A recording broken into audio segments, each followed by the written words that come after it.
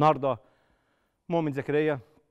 ربنا يشفيه يا رب إن شاء الله. وحشنا مؤمن زكريا في الملعب وحشنا اداؤه وحشنا روعته بس يفضل موجود في وسطنا. ده أهم حاجة. مؤمن زكريا لاعب النادي الأهلي السابق النهارده تواجد في استاد الأهلي. والسلام علشان يساند فريقه في مباراة وفاق. سطيف الجماهير استقبلت مؤمن زكريا بشكل رائع هتفت ليه وسندته في محنة مرضه الحالية. هتفوا وأنا سمعت الهتافات بتاعت جماهير النادي الأهلي لمؤمن زكريا. حاجة رائعة. طيب. بمناسبة جماهير النادي الأهلي. أنا قلت النهارده إن بيتسو موسيماني كان ركيزة أساسية في أرض الملعب لفوز النادي الأهلي برباعية نظيفة وبالتالي كمان بيرسي تاو كان ركيزة أخرى في فوز النادي الأهلي آه، بالفوز برباعية النهارده على وفاق سطيف بس الأهم من كل ده جماهير النادي الأهلي. جماهير النادي الأهلي النهارده كانت رائعة كانت مدهشة. أنا قاعد بتفرج قدام التلفزيون صوت جماهير النادي الأهلي كان شغال 90 دقيقة. مفيش لحظة في المباراة ما سمعتش فيها صوت جماهير النادي الأهلي وهتافات جماهير النادي الأهلي. النهارده اللاعبين لعبوا بروح وحماس عشان صوت جماهير النادي الأهلي. النهارده اللاعبين أدوا أفضل مستوى ليهم عشان صوت جماهير النادي الأهلي وهتافاتهم وتشجيعهم للاعبين وللفريق. جماهير النادي الأهلي النهارده تستحق التحية لها جزء كبير كعادة جماهير النادي الأهلي على مر التاريخ هي لها الجزء الأكبر في كل إنجازات النادي الأهلي تاريخيا وإنجازات عديدة وعديدة للنادي الأهلي نادي القرن الأفريقي أهم نادي في القارة الأفريقية على مستوى البطولات. تحية للنادي لجماهير النادي الأهلي على ما قدموه في مباراة اليوم.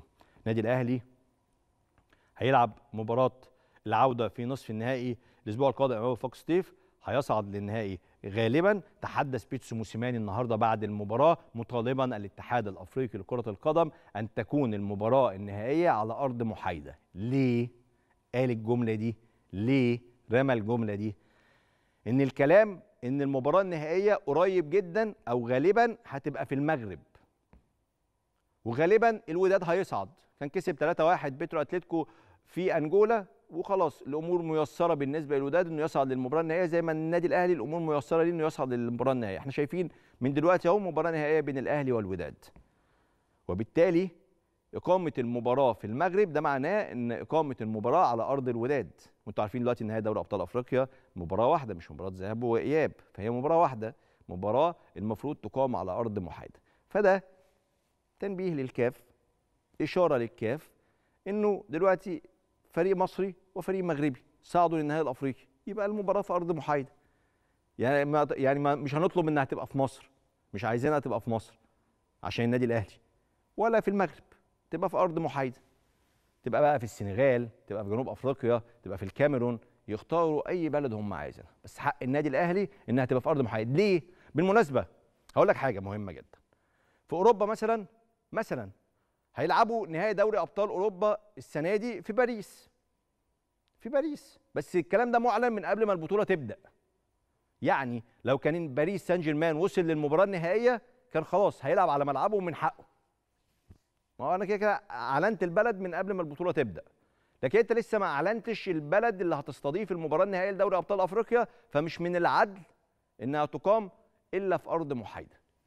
لكن لو كنت أعلنت مثلا من قبل ما البطولة تبدأ النهائي دوري أبطال أفريقيا هذا الموسم في المغرب وصل فريق مغربي ما وصلش فريق مغربي خلاص هي هتلعب في المغرب.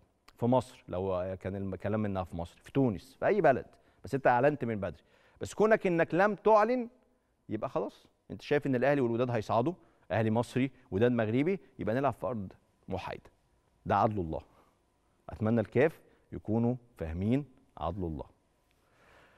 طيب نروح ليه اخبارنا النهارده وأخبار كثيرة مهمة.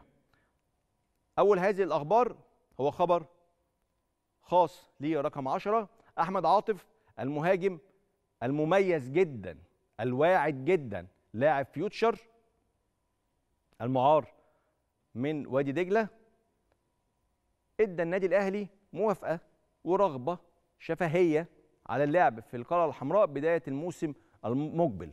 أبلغ اللاعب مسؤولي النادي الأهلي ترحيبه بارتداء القميص الأحمر الموسم اللي جاي. طبعا لسه في مفاوضات وفي تفاصيل وفي أمور كثيرة. أنا بكلمك دلوقتي على الأمور الشفهية. لسه مفيش أمور رسمية لسه مفيش مفاوضات رسمية. واللاعب بيلعب مع نادي فيوتشر ومركز وعامل أداء رائع جدا. وخيرا فعل نادي وتحية لنادي فيوتشر.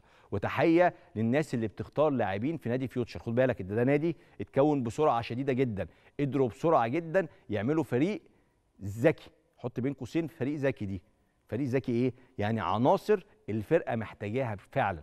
عناصر خبرات عناصر شباب عناصر موهوبة فعملوا فريق كويس. فالراجل مركز مع فرقته دلوقتي.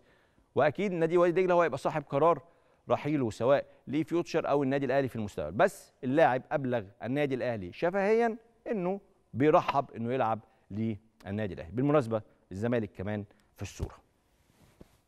حسام حسن مهاجم النادي الأهلي طلب من الكابتن آه، سيد عبد الحفيظ مدير الكرة إنه يخرج إعارة آخر الموسم لو ما فيش فرصة إنه يشارك في المباريات خصوصا إنه حاسس إن موسيماني مش عايزه. حسام بلغ عبد الحفيظ إنه عايز يطلع إعارة عشان يلعب ويشارك ويرجع الأهلي تاني. عبد الحفيظ قال لحسام حسن إنه يقفل الكلام خالص في الموضوع ده لنهاية الموسم ويركز في الملعب وإن الفرصة ممكن تجيله في أي وقت ولازم يكون جاهز. بس هو واضح إنه الراجل مش مقتنع بيه. بصراحة يعني واضح جدا إن بيتسو موسيماني مش مقتنع بحسام حسن. وغالبا حسام حسن هيبقى خارج النادي الأهلي الموسم اللي جاي. طيب دي أخبار النادي الأهلي.